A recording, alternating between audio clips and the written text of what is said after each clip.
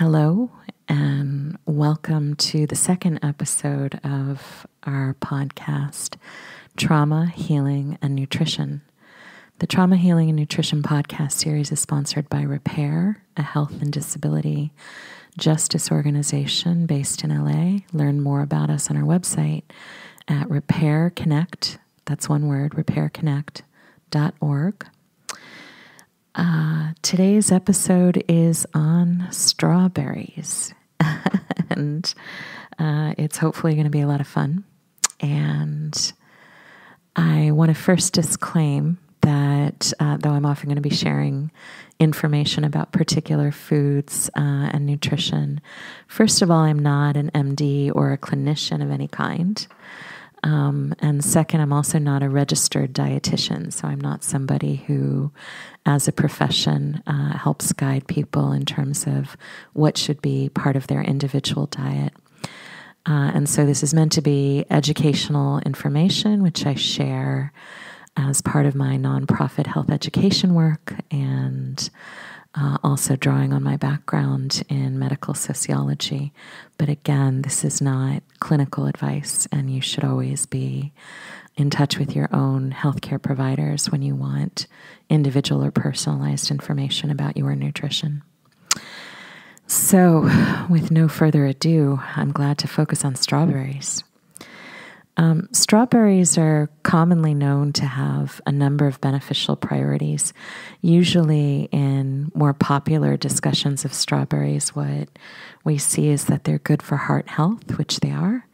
And they can also help with blood sugar control, which I think people often find counterintuitive or surprising because strawberries are really sweet. And we tend to have the assumption that if something is sweet, it's not good for your blood sugar.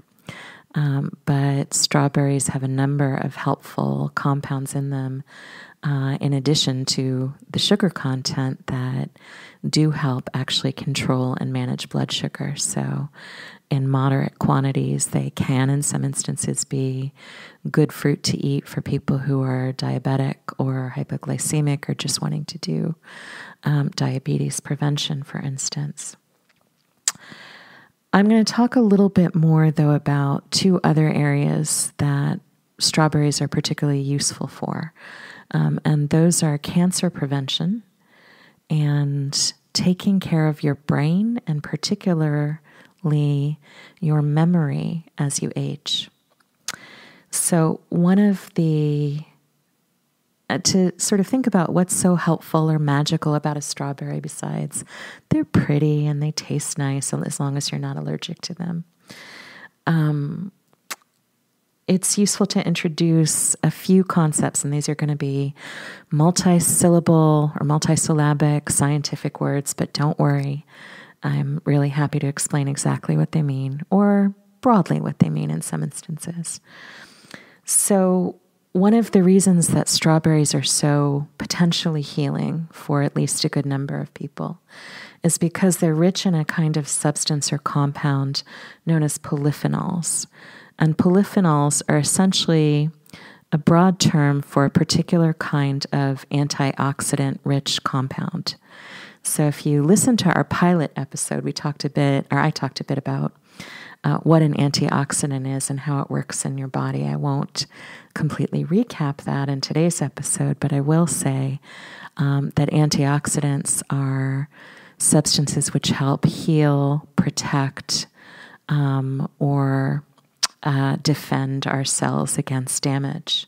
And so, taking polyphenols into your body, and again, this is an antioxidant rich compound that's found in a number of different foods, including strawberries, is a great way to protect lots of different cells within your body. If you're actually reading up about the science of strawberries, you may find terms like flavonoids, and this is basically a subcategory of a polyphenol, right? So, if polyphenol is the big umbrella term for antioxidant rich compounds, then flavonoids is one of the types of, of polyphenol. Um, of polyphenols, and as you might imagine, they're often associated with flavor, and we find them in a lot of different forms of produce and foods. And I'll break it down even a little bit further uh, there's a type of flavonoid. Uh, so now we're going from the big category polyphenols to the intermediate category flavonoids to introduce um, a particular specific kind of compound that is a pigment. So, pigment is what gives something color. And the pigment is generally known as either an anthocyanin or an anthocyanidin. And the only difference between the two, well, there are actually there are a few differences, but the primary difference between the two is that anthocyanins, the first one, have some sugar, and an anthocyanidin has um, uh, doesn't tend to have sugar.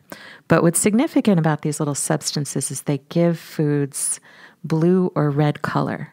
So if you ever wondered what makes a strawberry so red, it's the anthocyanidins in the strawberry. So what's very cool is that it the anthocyanidins in the strawberries don't just make the strawberry red, they also are part of why strawberries are healing. So now I want to talk a little bit about why that is, not in much detail, but at least to introduce the subject.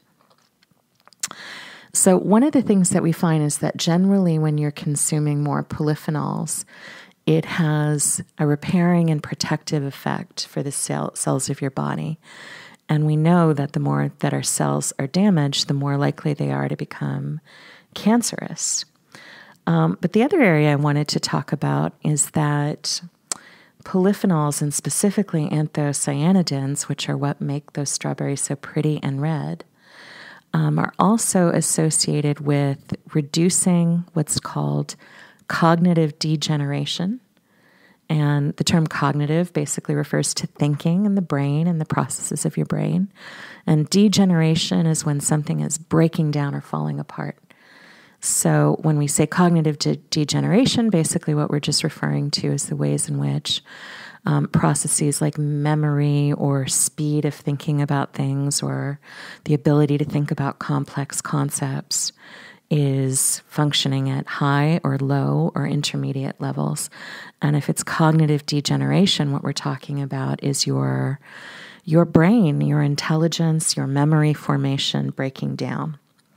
So, one of the things that we see is that consumption of strawberries has now been repeatedly linked in different clinical studies to reduced cognitive degeneration, um, generally among human beings as they age. And then there have been some studies that have specifically shown very beneficial effects for aging women.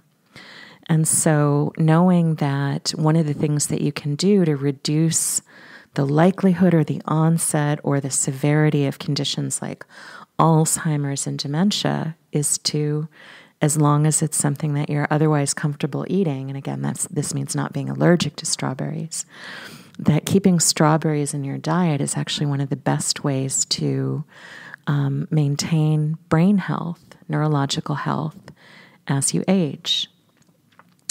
So I won't try to fully break down today sort of what are some of the ways in which uh, polyphenols actually work at the neurological level. I know there are plenty of, I'm sure, science geeks out there like me who like the details, um, but also folks who I think just want the sort of hands on guidance. So we'll keep this simpler today and just say the basic thing that you want to keep in mind is that because strawberries not only are wonderfully red, but are wonderfully antioxidant rich, uh, based on the same compounds that make them so pretty and red, as well as some others.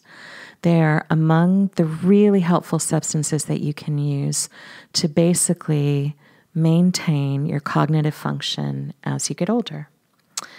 Um, so, I, lo- I want to keep linking each episode as we produce this con- this podcast to um, particular actions you can take, and that's especially easy, easy in this instance uh, because where strawberry is concerned, the action you can take is to eat them. Um, but I'll say a few things about ways to eat them and what's useful. Um, a common question folks often have is Is it necessary to eat fresh strawberries or are frozen strawberries also good for you? Um, and the answer is that as long as the freezing practices were done correctly, um, and safely.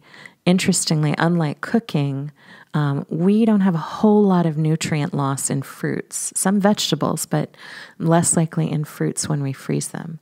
So, though very fresh strawberries may be just slightly more nutrient rich than frozen ones, um, particularly for convenience, it can be great to have frozen organic strawberries in your freezer, especially you know if you're trying to avoid the situation where you buy them and then they're sort of a little overripe and then they're already losing some of their nutrients.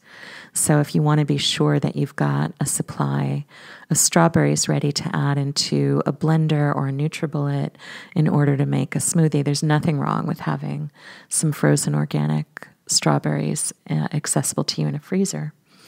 Um, but fresh strawberries are also wonderful, and there are at least um, a few nutrients that survive a little bit better uh, the fresher uh, the produce item is. So I certainly recommend having them fresh. Some things that are great to do with strawberries. Um, in addition to, uh, you know, one of the easiest and nicest things to do, which is to eat them straight. I like to put them in salads and particularly combine them with leafy greens and some walnuts, which are also um, which, which are essentially one of the most antioxidant rich nuts. So that combination of the sort of green fibrous, fibrous vegetables and um, strawberries and organic nuts um, can be really just nutritionally fantastic. The nuts give you a little bit of protein and some healthy fats. And um, I have different favorite salad dressings, but often with a salad that like that, that's already a little bit like sweet and, and flavorful, I'm happy with just like a little balsamic vinegar, maybe a little bit of salt. I don't necessarily even need oil with it. So it's a great extra way to sort of get some strawberries in your diet and also combine them with other foods that are helpful. There's a saying that, I have really no expertise in traditional Chinese medicine, but in conversation with someone who had a lot, uh, one of the things she mentioned to me once is that there's a saying in traditional Chinese medicine that your plate should be a rainbow, that it should be full of a wide variety of foods, and that that is most often most nutritionally helpful and efficient, especially because the different useful nutrients and compounds in foods are often going to work best in combination with each other. So again, I really like that combination of like strawberries, walnuts, or if you dislike walnuts, another nut that's healthy that you enjoy, and some leafy greens because you're getting something that's relatively close to nutritionally complete. And not that you won't need other things, but you've got a little protein, you've got plenty of fiber, you've got a huge range of antioxidants, um, and you've got some complex carbohydrates. And um, it's just such a wonderful thing to add to your day. But again, there's sort of no wrong here um, with fresh clean organic strawberries or frozen organic strawberries. Um, it is good to know that if you cook strawberries, you're going to lose some nutrients. That doesn't mean there won't be any health benefit. And if you really enjoy um, something that's cooked with strawberry, by all means, enjoy it. Um, but when you bake strawberries, for instance, into a muffin or a pie or something like that, just keep in mind that you're going to destroy or lose some of the antioxidants, including um, generally vitamin C, which strawberries are fairly rich in. I will talk more in future podcast episodes about organics and what does it mean to say something is organic and how good is that and what's significant about it. But what I will say for today is that it is important if what you are doing is eating strawberries not just for pleasure but for um, the, its antioxidant properties to try to stick to organic or at least non genetically modified and pesticide free strawberries whenever possible. Obviously, if you like grow it in your backyard, it won't be certified organic, but uh, the cleaner the source, the better because a lot of useful antioxidants are destroyed in some of our less healthy agricultural practices. So, having strawberries that were hopefully grown with a clean water source, that were grow- grown in accordance with certified organic standards, um, helps maximize the kinds of health benefits that we've been talking about today. So, that's what I have to say about strawberries. Um, before we sign off today, I want to just thank um, my good friend and colleague, Samia Bono, who uh, helped me get around the fact that I'm not even remotely tech savvy and said it's really not going to be hard to launch this podcast. So, uh, for our pilot episode, and again today, she's been sitting here with me and uh, managing the equipment and all of the details that go into getting a podcast off the ground.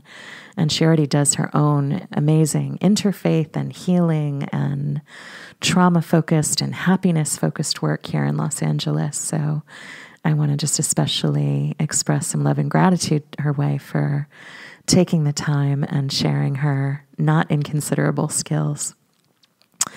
Um, and you are welcome to connect with Repair a number of ways. I shared our web address at the beginning of this episode. And again, that's repairconnect.org. And you will see links on our website for Facebook and LinkedIn and Twitter and Instagram. And we're glad to be connected with you there as well. There's also a sign up for our mailing list. Um, and being connected with us on social media is a great way to get announcements when new episodes are launched. And if you're accessing this uh, podcast through iTunes, then uh, Samya has also told me I should encourage you to uh, give us five stars if you are so inclined, because I, I understand that will help more people find the podcast. And of course, you can also share links to the episodes, and we're always really happy when more people find our way find their way here. So, listeners, thank you so much for uh, tuning in today to learn a little bit about the healing properties of strawberries. Join us for our next episode titled Hunger is Trauma. Thank you again.